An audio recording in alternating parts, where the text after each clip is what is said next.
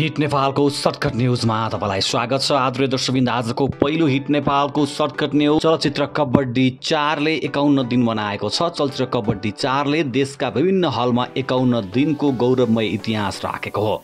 चलचित्रले एकाउन्न दिन मात्र मनाएन। एकाउन्न दिन मनाउँदै गर्दा चलचित्रले बक्स अफिसमा समेत ब्लकबस्टर व्यापार गरेको छ। यो सिनेमाले एकाउन्न दिन मनाउँदा साढे बाइस करोडभन्दा बढी ग्रस कलेक्सन गरेको निर्माण पक्षले बताएको छ। जेठको तेह्र गतेबाट रिलिज भएको यो फिल्मलाई रामबाबु गुरुङले निर्देशन गरेका हुन् र सिनेमाले प्रत्येक दिनको रेकर्ड समेत ब्रेक गरेको छ। सिनेमाले पहिलो दिनको रेकर्ड तिन दिनको रेकर्ड एक हप्ताको रेकर्डदेखि एकाउन्न दिनसम्म आइपुग्दा छक्का पन्जा तिनले राखेको बिस करोडको रेकर्डलाई समेत तोडेको छ र नेपाली फिल्म क्षेत्रमा सर्वाधिक कमाई गर्ने सिनेमाको नाम अब कबड्डी चारमा गएको छ। चलचित्रमा दयाहाङ राई सौगात मल्ल मिरुना मगर बुद्धि तामाङ विजय बराल लगायत कलाकारको अभिनय रहेको छ। नेपाली सिनेमाले पछिल्लो समय एकाउन्न दिन मनाउनु दुर्लभ जस्तै बनेको अवस्थामा कबड्डी चारले भने दर्शकलाई हलमा आकर्षित गरेरै एकाउन्न दिन मनाएको हो। दर्शकबिन आजको हिट नेपालमा तपाईँलाई हामीले पहिलो रिपोर्टको रूपमा प्रस्तुत गऱ्यौँ।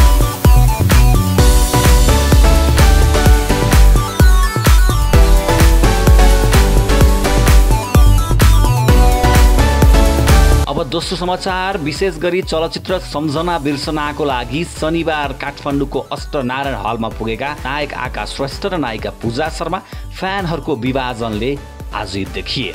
चलचित्र सम्झना बिर्सना रिलिज भएपछि पूजा र आकाश एकसाथ चलचित्रको लागि दर्शक भेट्न हल पुगेका थिए। तर दर्शकहरू भने विशेष गरी कुनै एउटा चुनावको समयमा दुई पार्टीका नेताहरू एकसाथ भेट हुँदा दुई थरी पार्टीका कार्यकर्ताले नारा लगाए जसरी पूजा र आकाशको नाममा छुट्टा छुट्टै नारा लगाएका थिए।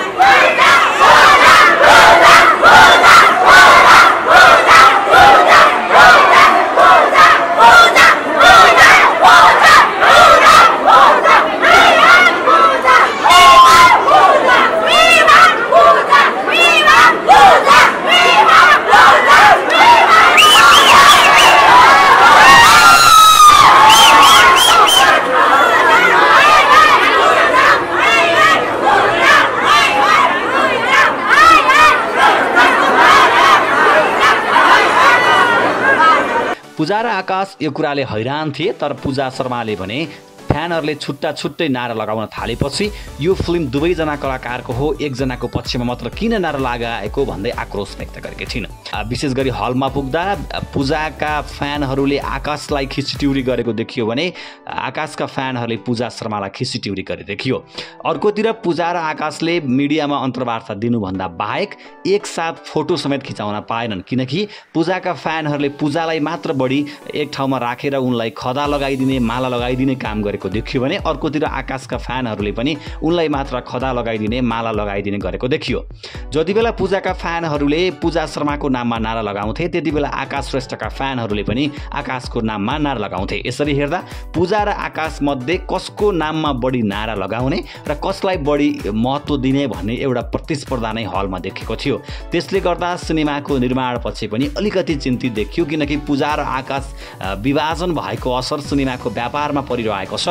धेरै फ्यानहरूले विशेष गरी पूजा र आकाशको मित्रतामा अलग भएपछि सिनेमा हेर्न मन नलागेको प्रतिक्रिया हिट नेपाललाई दिएका छन्। त्यस कारणले गर्दा पूजा र आकाश बिचमा देखिएको एउटा मनमुटाव र उनीहरू बिचमा आएको सम्बन्धमा आएको खटबडको प्रम प्रमुख कारण सम्झना बिर्सनाको इनिसियल व्यापारलाई लिन सकिन्छ। चलचित्र सम्झना बिर्सनाको अस्ट्रेलिया हलमा पुग्दा देखिएको माहौलले पक्कै पनि नेपाली फिल्मका कलाकारलाई नेपाली दर्शकहरूले कसरी प्रेम गरिरहेका छन् भन्ने एउटा झल्को दिन्छ किनकि दर्शक भएपछि हरेक कलाकारलाई आफ्नो तरिकाले माया गर्न सकिन्छ तर हलमा पुगेको कलाकारलाई एउटाले अर्कोलाई अर्कोले अर्कोलाई अ, खिसिट्युरी गर्दा त्यसले पक्कै पनि कलाकारलाई दर्शकसँगको जुन एउटा सामिप्यता हुन्छ दर्शकको कलाकारसँग जुन सामिप्यता हुन्छ त्यो अलि कति बन्दैन कि भन्ने हाम्रो बुझाइरहेको छ। किनकि चलचित्र सम्झना बिर्सनामा आकाश श्रेष्ठ र पूजा शर्मा नै मुख्य भूमिकामा छन् र यो सिनेमा चल्दा आकाश र पूजालाई नै फाइदा हुन्थ्यो र सिनेमा नचल्दा आकाश र पूजाको करियरलाई नै घाटा लाग्छ।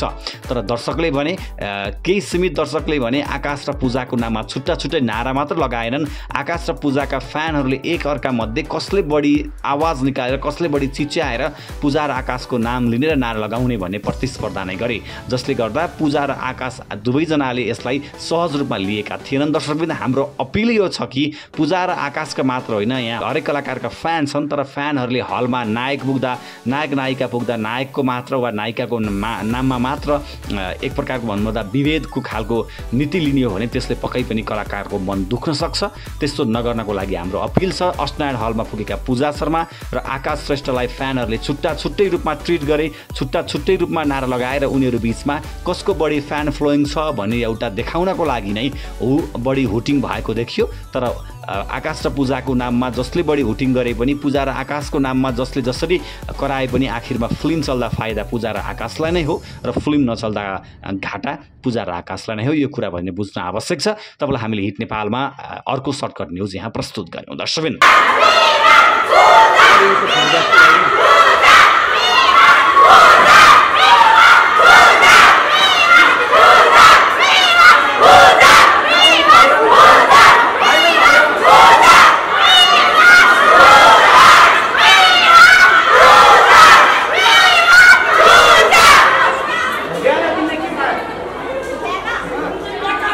चलचित्र बाबरीका मुख्य नायक धीरज मगर र नायिका अदिति बुढाथोकीको लागि नायक प्रदीप खड्का टाउको दुखाइको विषय बन्ने देखिएको छ। आदरणीय दर्शकबिन चलचित्र बाबरी जुन रिलिज हुँदैछ भदौको एकतिस गतिबाट र भदौको एकतिस गतिबाट यो सिनेमा रिलिज हुँदैछ र यति बेला यसका गीत सङ्गीतले दर्शकको मन पनि जित्दैछ। सिनेमा लभ स्टोरी कथामा निर्माण भएकोले पनि दर्शकहरूले यो सिनेमालाई मन पराउने अपेक्षा धेरैको छ। तर यो सिनेमा रिलिज भएको एक सातापछि चलचित्र प्रेम गीत तिन रिलिज हुँदैछ।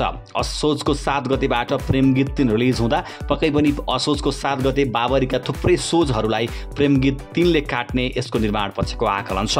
यसैले प्रेम गीत तिन असोजको सात गते आउँदा यसको निर्माण पछि अझ भनौँ बाबरीको निर्माण पछिलाई भने केही तनाव भएको छ र धीरज र अदितिको फिल्मले राम्रो दर्शक बटुलेको खण्डमा पनि प्रेम गीत तिनले हल काट्ने भन्दै यसका निर्देशक सुरेन्द्र पौडेल यति बेला अलिकति बढी चिन्तित रहेका छन्। किनकि सिनेमाले गीत सङ्गीतको मामलामा र टिजरको मामलामा दर्शकको मन जितिसकेको छ र अब सिनेमाको टेलर पनि केही समयपछि सार्वजनिक हुनेछ र सिनेमा बाबरी राम्रोसँग दुई तिन हप्ता चल्न पाएको खण्डमा पक्कै पनि यसले राम्रो व्यापार गर्ने अपेक्षा निर्देशकको छ। तर चलचित्र बाबरीको रिलिज को एक सातापछि चलचित्र प्रेम गीत तिन रिलिज हुने भएको कारणले गर्दा पनि बाबरीलाई केही समस्या पर्ने आकलन निर्माण पक्षले गरेको छ दर्शकबिन। यो सँगसँगै आजको लागि हिट नेपालको रिपोर्टबाट हामी सबैलाई बिदा दिनुहोस्। तपाईँलाई हिट नेपालका रिपोर्टहरू मन परिरहेका छन् र हिट नेपाल सर्टकट न्युज पनि मन परिरहेको छ भने कृपया तपाईँले हिट ने हिट सर्टकट न्युजलाई फलो गर्दै गर्नुहोला र हाम्रो च्यानललाई सब्सक्राइब गर्दै गर्नुहोला। नमस्कार।